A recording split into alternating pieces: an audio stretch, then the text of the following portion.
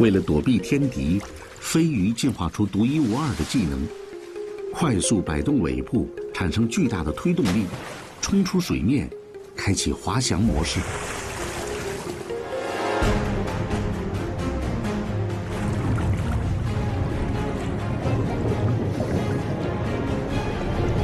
奋力踩水，收起网口，依靠口袋战术和默契配合，才能有可观的收获。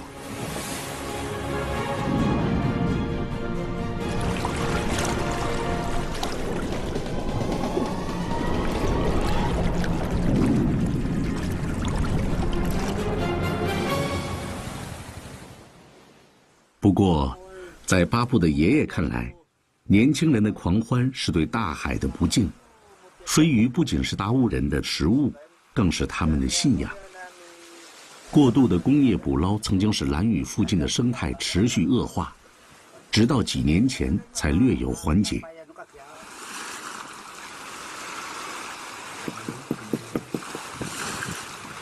拼板舟，达悟人选取十三种木材，精心制作出造型独特的船只，是他们出海捕捞飞鱼的座驾。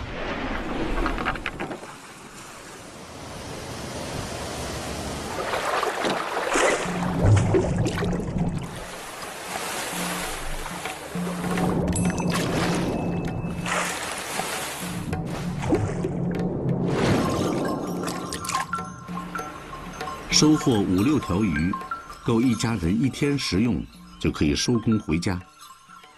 只在每年鱼汛的结尾，达悟人才多捕一些，用来制作鱼干，在飞鱼离开的日子里补充蛋白质。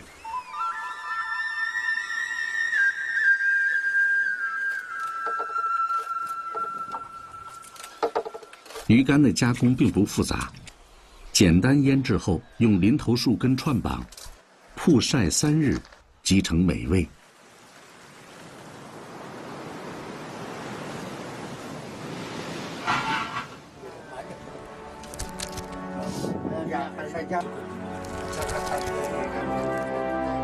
简单的食物，本真的生活，离大海最近的爷爷，深深懂得与自然的相处之道。